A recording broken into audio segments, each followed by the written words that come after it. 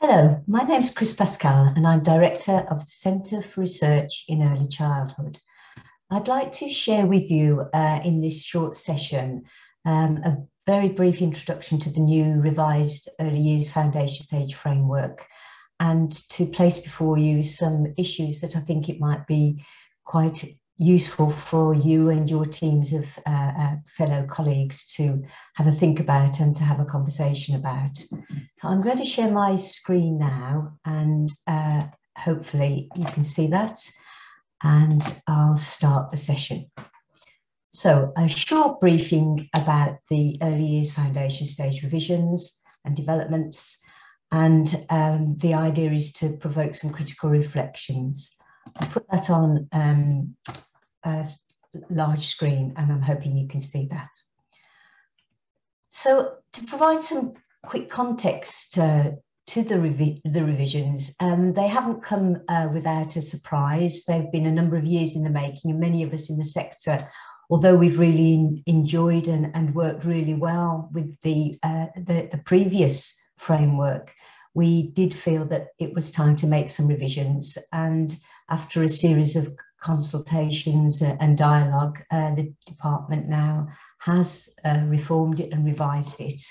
Um, and very clearly they state that the aim of the reforms is to strengthen the early years curriculum, um, assessment practice uh, around uh, that curriculum uh, and to, to really think through how much and what kinds of assessments we need to do and to inform and develop professional practice.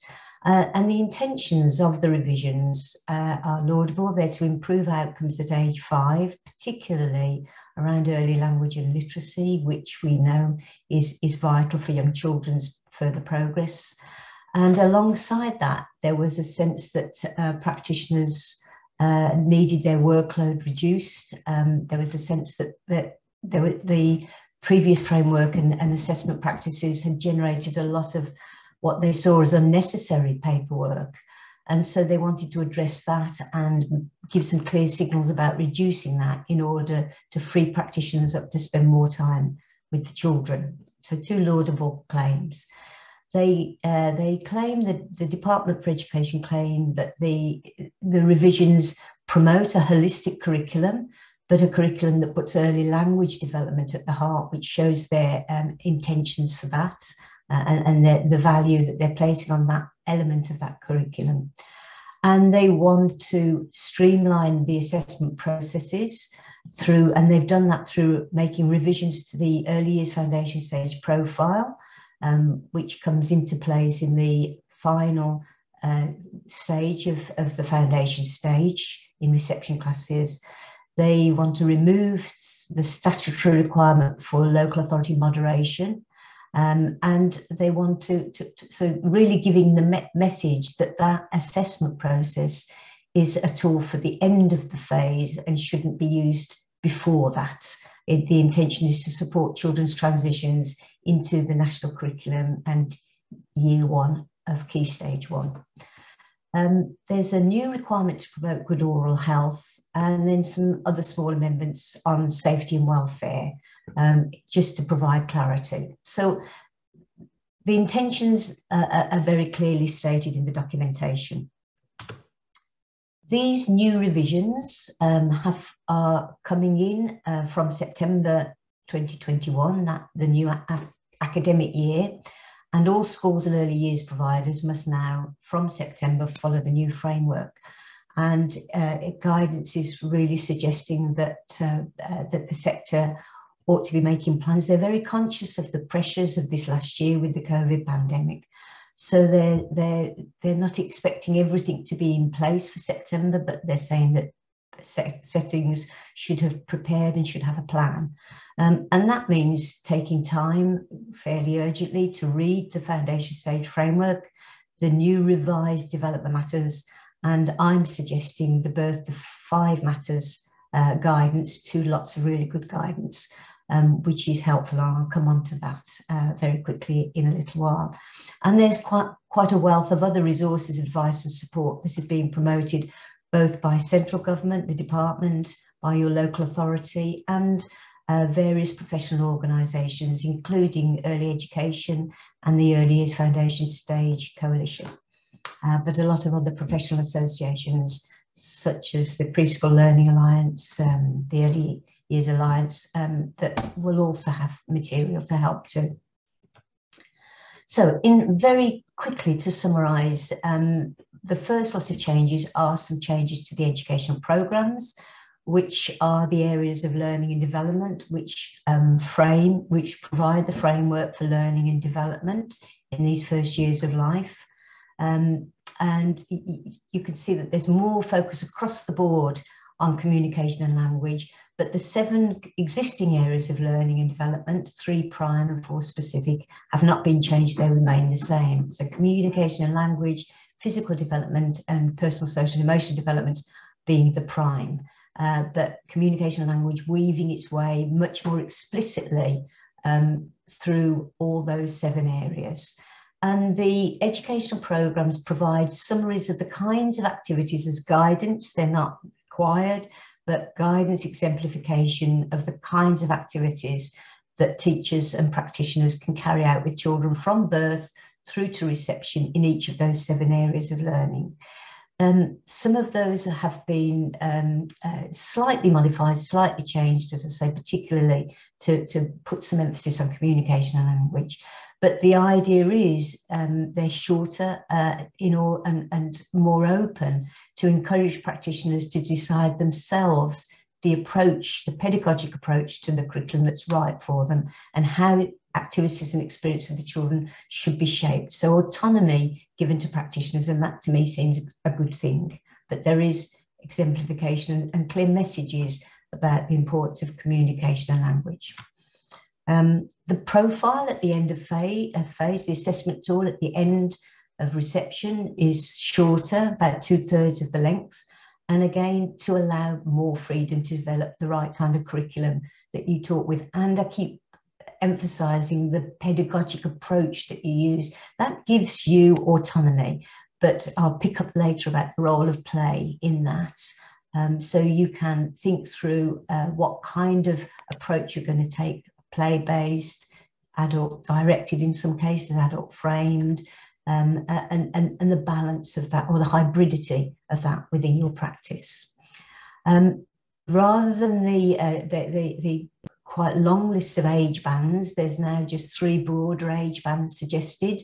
Um, and again, more room for you making a professional judgment about where you think a child's learning and progress has happened and where they sit across those three broad age bands. And to, to, to, encourage you to, uh, to, to move away from tracking and documenting and providing evidence of every little step on the way for the child so use your own judgments based on your knowledge and experience of the child um, uh, uh, in those, those three age bands. There are 17 early learning goals and uh, reception teachers only are required to assess each child against those goals. But uh, again, a slight change, the, the, uh, the, um, the assessment of a child being uh, being uh, exceeding those goals, that judgment is gone. You just need to say, are they on track? Are they are they reaching the expected goals, or are those goals and is that development still emerging? Um, other changes to assessment and moderation is the, the progress check at age two hasn't been changed at all, it remains the same. Um, the reception baseline assessment um, is still there and there's some information on, on the the baseline assessment on entry to reception and the profile is still there and statutory. Um, uh, but the, the statutory duty of local authorities to moderate it has, has now been removed. And the guidance says that, that schools and city, schools, which is largely where these reception children are, may wish to moderate internally and with, with partner schools to ensure consistency of judgments, but that's up to you to make those arrangements. Um, the data from the EYFSP still has to be submitted to the local authority and the data, they'll have to forward that to the department. So, implications. Well, clearly you need to decide your design your curriculum and the pedagogic approach around these new educational programs from September. So the programs are what shapes the curriculum, not the early learning goals, very clear about the role of the ELGs are just an end of phase assessment for reception class teachers and everybody else um, should be designing their curriculum around the programs. Um, clearly, with these new changes, it's helpful that all your staff and parents are aware of the changes and are implementing those changes in their actions. And it might be good to see what other support is around to support you in developing your plan and then over the next 12 months implementing that, that plan. And there's some really good guidance from the department and the EYFS Coalition. Uh, there's support materials to support your action. Some important documents, um, the new foundation stage framework, it's published, it's there, it's downloadable, and everybody should have that and be using it. And then two really good um, uh, uh, um, published uh, guidance documents. Uh, the DFE one is Development Matters, that's had some minor changes to it um, fairly recently, but it, it's there and, and it's recommended that everybody's aware of that. It's shortened than the original development matters, but it does give this overall view of how children develop and. And, and again, there's guidance linked to that's been um, been um, developed. And again, it's very clear. It says it's intended to guide but not replace. Use your professional judgments. The Birth to Five matters guidance developed by the Early Years Foundation Stage Coalition. Um, again, another really great and, and uh, more detailed and more holistic and wider based uh, set of guidance and support materials through their website um, that's de been developed by the coalition working with the sector as a whole. So those two support documents really, really important to, to get your head around those and, and to have a look at those and guide as you roll as things roll out to, to, to use that to, to help that thinking and those dialogues that are going on. So some, some issues that I think might be helpful for you as you start to talk with your, your, your team and colleagues about it, um, that th these, this, is, this is a personal reflection of, of things that are uh, exercising my mind and my dialogues around these new revisions. Um, a, a, really important one is, is, is not the curriculum itself, it's the pedagogy to support the teaching and learning that supports the implementation of that. Uh, and, and in the new revisions and the new documentations, in order to make more room for, um, uh, for professional uh, judgment and, uh, and autonomy, uh, they're not, they're not they're much less explicitly telling you what pedagogical approach to use. It's suggesting that you might develop that and talk about that yourselves. And there's some good things in that, but the, the other consequence of that is the status of play in that whole foundation stage document uh, is less vi visible and less emphasized.